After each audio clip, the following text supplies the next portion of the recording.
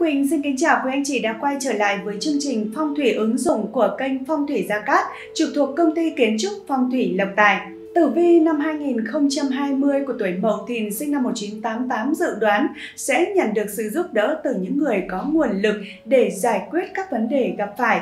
Sự nghiệp năm nay thì gặp nhiều may mắn, bạn sẽ có thể tạo ra kết quả tốt nhất và nhận được những lời khen ngợi từ cấp trên của bạn. Năm nay có thể có cơ hội để bạn được thăng chức tăng lương, bạn không được bảo lãnh hay là người bảo lãnh cho vay hoặc vay tiền và xử lý tài chính một cách khôn ngoan.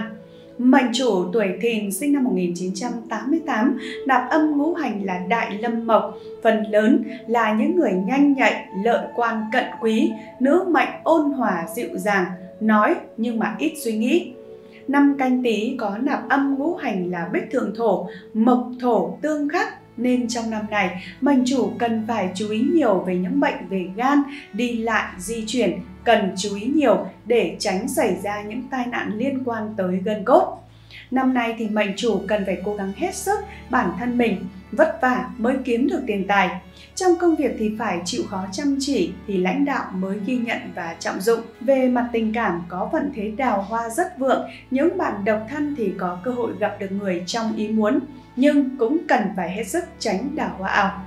Mậu dương thổ gặp canh dương kim là thực thần, nghĩa là bản thân bị sinh xuất, đề phòng hao tổn tiền tài.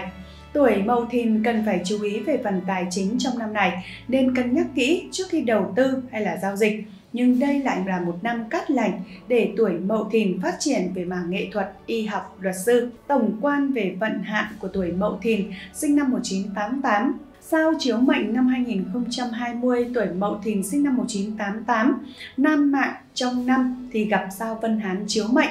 Sao Vân Hán chiếu mệnh thì đàn ông hay là đàn bà gặp sao này làm ăn mọi việc đều trung bình, khẩu thiệt, phòng thương tật, ốm đau, nóng nảy, mồm miệng.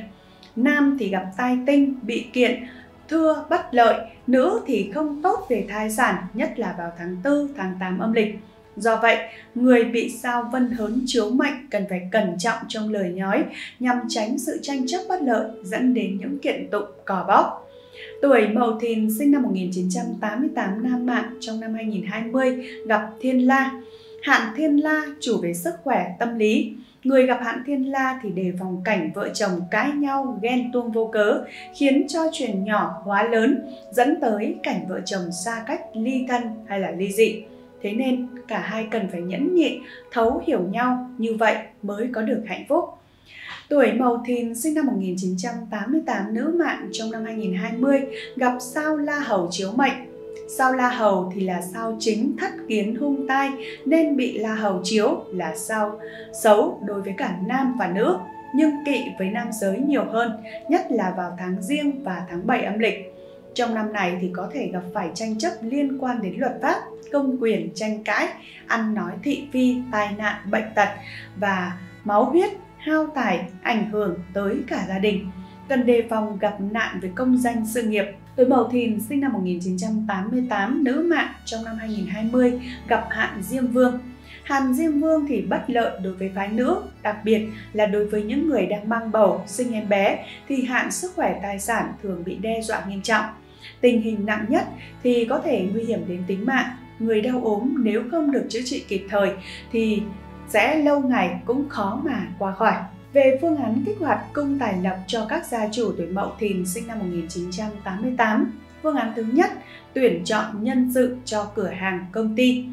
Tuổi theo thiên can hóa ngũ phúc, Mậu hợp với quý hóa hỏa thủy vào những tháng dần, mão, thìn, tỵ, ngọ, thân, dậu, tuất Tý Sửu tức là các tháng 1, 2, 3, tháng 4 và tháng 4 nhuận 6, 7, 8, 9, 10, 11, 12 âm lịch. Vậy nên nếu như mảnh chủ muốn hợp tác hoặc là tuyển dụng những nhân sự có nạp giáp thiên can là quý thì có thể tiến hành vào những tháng này.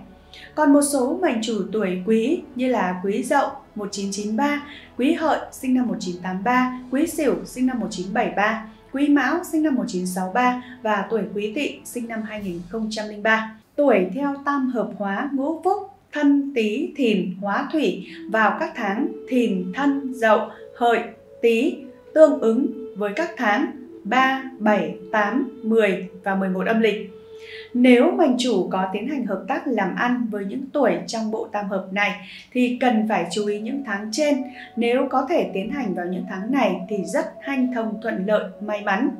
Và một số điều cần phải chú ý khi mà chọn tuổi trong bộ tam hợp sẽ là nếu kết hợp với các mệnh chủ tuổi Tý thì chọn ngày hoặc là giờ thân và ngược lại nếu mệnh chủ có tiến hành kết hợp làm ăn với những mệnh chủ tuổi thân thì sẽ chọn ngày giờ là Tý. Tuổi Thiên Lộc Tuổi thiên lộc thì mang lại tài lộc may mắn về tài chính, sự nghiệp và công danh. Vị trí tốt cho tài lộc thì có thể là đối tác, nhân viên lễ tân, nhân viên bảo vệ, vợ con. Tuổi thiên lộc của Mậu Thìn sinh năm 1988 sẽ là tỵ, bao gồm các tuổi theo thứ tự ưu tiên. Đó là tuổi kỷ tỵ sinh năm 1989, quý tỵ sinh năm 1953, ất tỵ sinh năm 1965, tân Tị sinh năm 2001 và đinh Tị sinh năm 1977. Tuổi dương quý nhân là người hỗ trợ giúp đỡ mình biểu hiện ra bên ngoài, ứng với vị trí của nhân viên kinh doanh, người hỗ trợ kinh doanh, chồng con. Dương quý nhân của Mậu Thìn sinh năm 1988 sẽ là Sửu, bao gồm các tuổi theo thứ tự ưu tiên.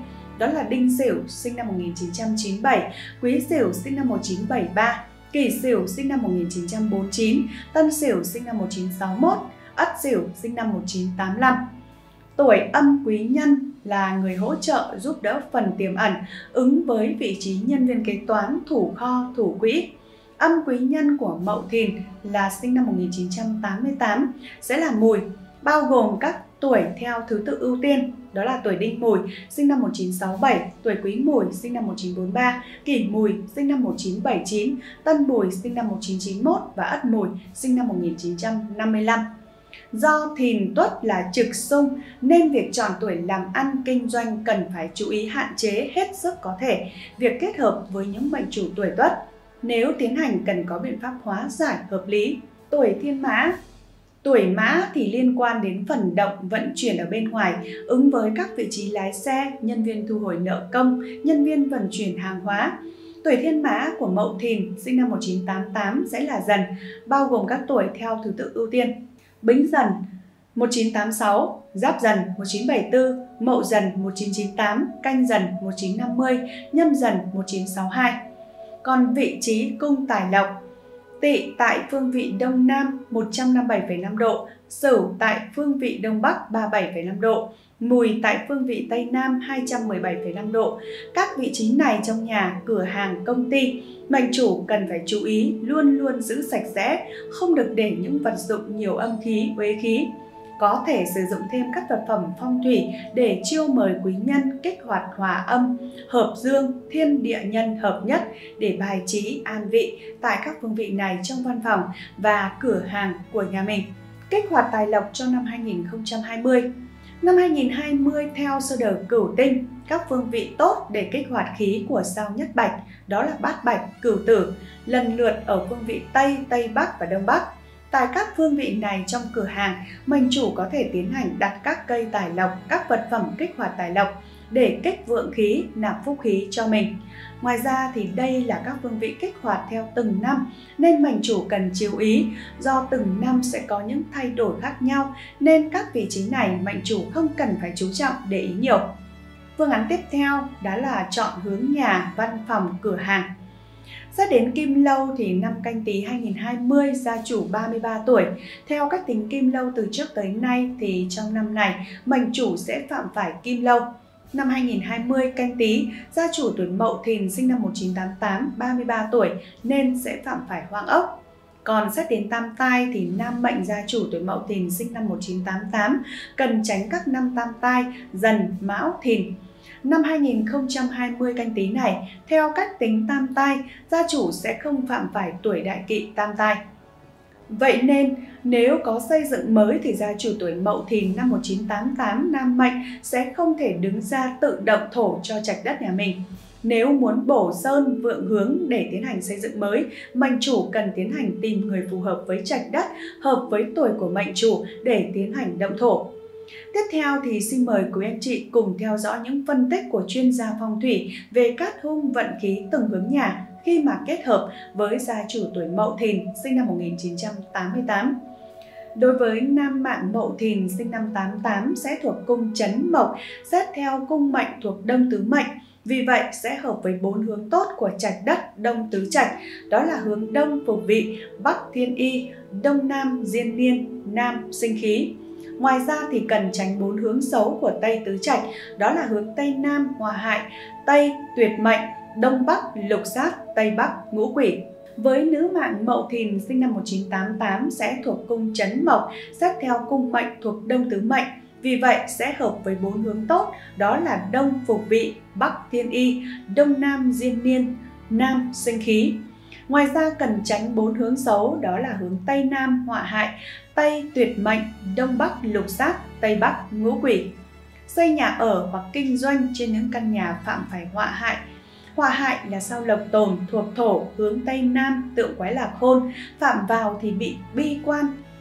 Thổ thiệt, hao tài tán lộc, bệnh tật, gặp phải tai nạn bất ngờ dẫn tới tổn thương lớn, cơ thể suy yếu, dễ nản trí, cô độc, nghèo khổ nên xấu vô cùng. Xây nhà ở hoặc là kinh doanh trong căn nhà không hợp hướng bị phạm vào ngũ quỷ thì ngũ quỷ là sao liêm trinh thuộc hỏa tượng quái là ly, chủ về nóng nảy, nhiều tai họa bất ngờ, tranh chấp kiện tụng, con cái khó dạy, bị hỏa hoạn, bệnh tật, khẩu thiệt, hao mòn ruộng vườn, gia súc, tán thải tán lộc tổn hại nhân định Hơn nữa nếu cố tình bất chấp xây dựng sẽ cực kỳ nguy hại cho bản thân xây nhà ở hoặc là kinh doanh trên những căn nhà không hợp hướng, bị phạm vào tuyệt mệnh, mà tuyệt mệnh là sao phá quân thuộc kim tượng quái là đoài, phạm cung tuyệt mạng có thể bị tuyệt tự, tổn hại con cái, sống không lâu, dễ bị tiểu nhân quấy phá, nhiều khó khăn, dễ tai nạn, dẫn tới mất sức lao động, lắm bệnh tật, con cái kém cỏi, dễ có chuyển thị phi, mắc bệnh khó chữa xây nhà ở hoặc là kinh doanh trên những căn nhà không hợp hướng, phạm vào lục sát, mà lục sát là giao văn khúc thuộc thủy tượng quái lạc hẳn, chủ về thị phi, khiến tâm lý luôn rơi vào trạng thái rối loạn, bất an, không tập trung vào công việc, khiến tài vận đi xuống, gia đạo nhiều biến động. Các thành viên sinh sống trong nhà thì gặp phải nhiều chuyện không như ý, xây nhà ở hoặc là kinh doanh trên những căn nhà hợp với hướng được phục vị nên rất cát lành, được xếp vào hàng đại cát đại lợi. Phục vị là sao tả bồ thuộc mộc hướng đông nam, tự quái là tốn, chủ về khoan dung, nam giới coi trọng gia đình, trị gia trước rồi mới bình thiên hạ, ắt sinh quý tử, con cái dễ nuôi, sự nghiệp và công việc hành thông thuận đạt. Nếu như mệnh chủ gặp nhiều sự không thành, hao tổn tài lộc, đặt cửa giường tại phục vị để hóa giải theo sự tư vấn của chuyên gia phong thủy. Xây nhà và ở hợp hướng được sinh khí rất cát lành vì sinh khí tượng là song tham lang thuộc mộc hướng đông, tượng quái là chấn, chủ về nhân ái, tài lộc, lợi cho quan lộc, làm ăn mau giàu, nhân khẩu tăng thêm, khách khứa tới đông, lợi cho đàn ông, giúp người ta có sinh khí tích cực hướng lên, tượng trưng cho các tường và thuận lợi. Hướng này rất phù hợp cho các gia chủ theo đuổi sự nghiệp kinh doanh, tiến hành mở cửa hàng, công ty hay là nhờ hàng.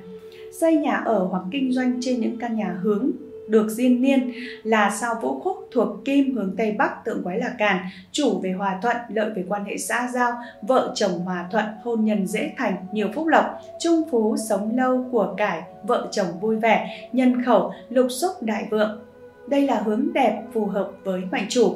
Xây nhà ở hoặc là kinh doanh trên những căn nhà hướng được thiên y thuộc sao cự môn thổ chủ quản tại hướng đông bắc tự quái lạc cấn, chủ về sức khỏe, giàu có ngàn vàng, không tật bệnh, nhân khẩu, ruộng vườn, xúc vật đài vượng, khoảng một năm thì có của, vượng tài phát lộc, lợi cho phụ nữ, tính cách khoan dung nhường nhịn, dễ được quý nhân giúp đỡ mệnh chủ tuổi Mậu Thìn sinh năm 1988 sẽ cần phải chú ý chọn được cho mình các hướng nhà, hướng cửa hàng phù hợp với tuổi của mình để công việc được hanh thông, thuận lợi, viên mãn.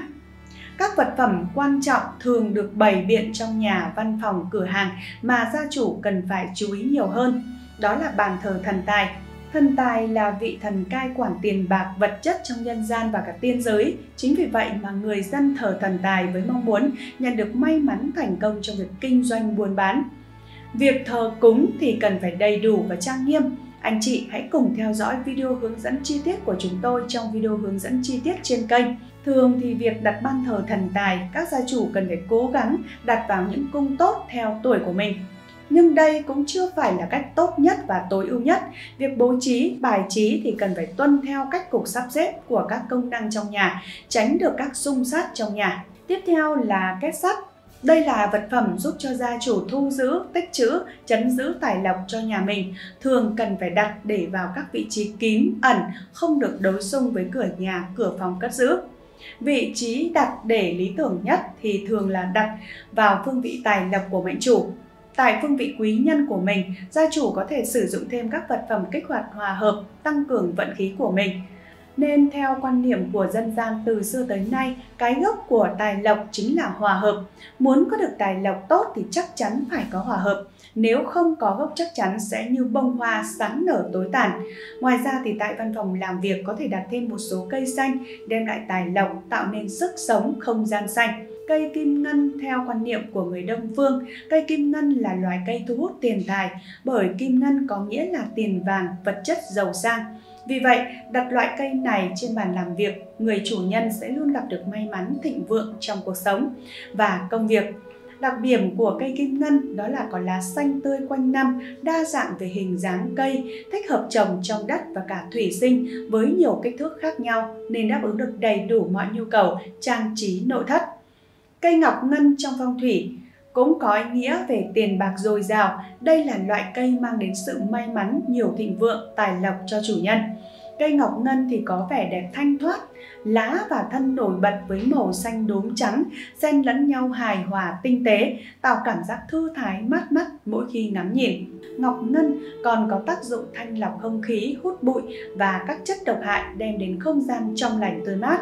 Ngoài ra đây là loài cây ưa bóng dâm, thích hợp tốt với môi trường trong nhà và văn phòng làm việc. Cây vạn niên thanh hay còn gọi là cây trầu bà vàng có ý nghĩa phong thủy mang đến sự may mắn, sức khỏe và vững bền trong sự nghiệp.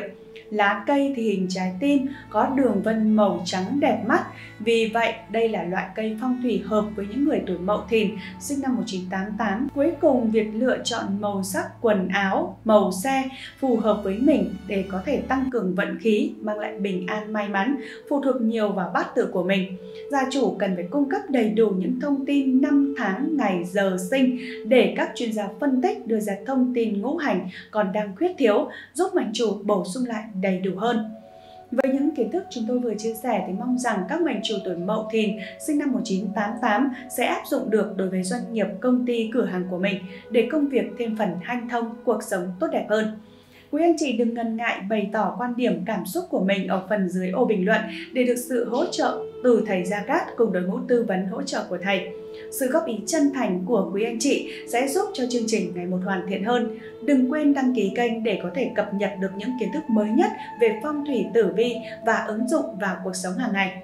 Cảm ơn quý anh chị đã quan tâm theo dõi, ủng hộ chương trình trong suốt thời gian qua. Chúc quý vị và các bạn gặp nhiều may mắn trong cuộc sống.